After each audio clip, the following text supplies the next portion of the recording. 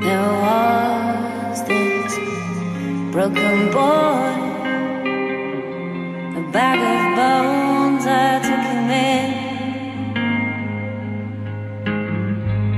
kept him safe from hurt and harm. But I shouldn't have let this stranger in. He said.